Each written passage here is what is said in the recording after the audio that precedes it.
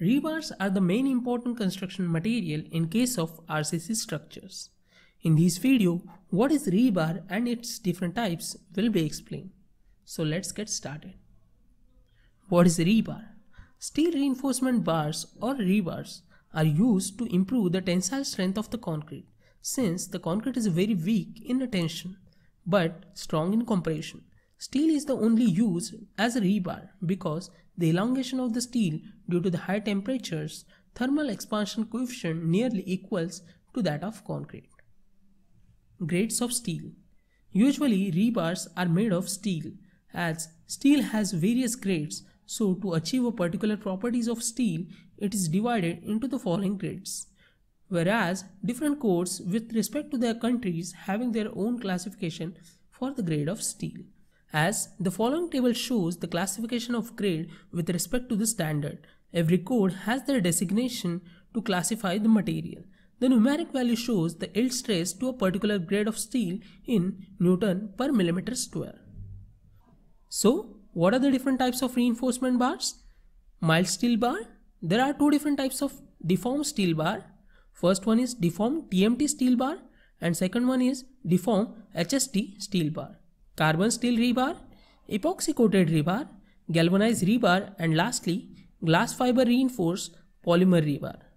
So let's understand this one by one. Mild steel bar. The surface of mild steel bar is plain and round in shape. They are available in various sizes 6 mm to 50 mm. They are used in concrete for special purposes such as dowels at expansion joints where the bars must be slid in a metal or the paper sleeve, for contraction joints in roads and runways, and for column spirals. They are easy to cut and bend without damage. For bridges and other heavy structures, mild steel is not recommended due to no great bonding between the concrete and steel, slippage and strength. Deformed steel bar. Deformed steel bar have ribs, lugs and indentation on the surface of the bar, which reduces the major problem that faced by the mild steel bar. Due to the slippage and the good bonding is achieved between the concrete and rebar, the tensile properties are higher compared to the other rebars. These bars are produced in the section of 6 mm to 50 mm in diameter. These bars are classified in two types, deformed TMT steel bars and deformed HYSD steel bars. Deformed TMT steel bar. TMT stands for thermomechanically treated. These bars are hot treated bars that have the high strength and use in reinforced concrete structures. It is the lead in the MS steel bar and the superior properties such as strength, ductility, welding ability, bending ability and the high quality standards at international level. Characteristics of TMT steel rebars are better ductility and malleability, high strength and toughness, more bonding strength, earthquake resistance, corrosion resistance, high thermal resistance, economical and safe in use, no loss in strength and welded joints, and ordinary electrode are used for welding the joints. Another type of deformed steel rebar is deformed HSD steel bar. The high strength deformed bars are cold twisted, steel bars are lugs, rips and projections or deformations on the surface. It is extensively and majorly used for the reinforced purpose in construction. These bars are produced in the sizes and sections from 4 mm to 50 mm in diameter. Addition to this, these type of bar have low carbon value, superior bonding strength, welding capability, high tensile strength, wide application range, and satisfactory malleability. These are some of the characteristics of deformed HSD steel bar. Carbon steel rebar. As the name represents, it made up of carbon steel and commonly known as black bar due to the carbon color.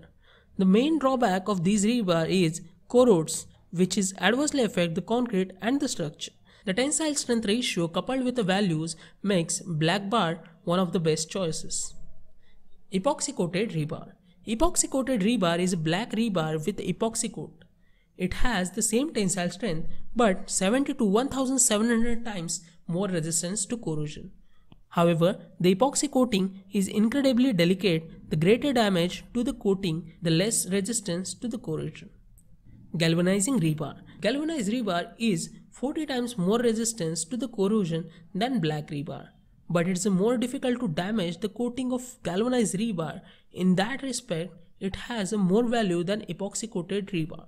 However, it's about 40% more expensive than epoxy coated rebar. Glass fiber reinforced polymer rebar. Glass fiber reinforced polymer rebar is made of carbon fiber. As it is made of fiber, bending is not allowed.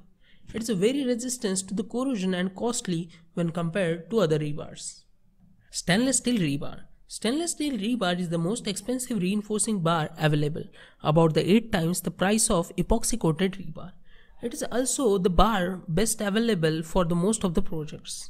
However, using the stainless steel bar in most of the unique circumstances is often overkill. But for those who have a reason to use it, stainless steel rebar is 1500 times the more resistance to the corrosion than black bar.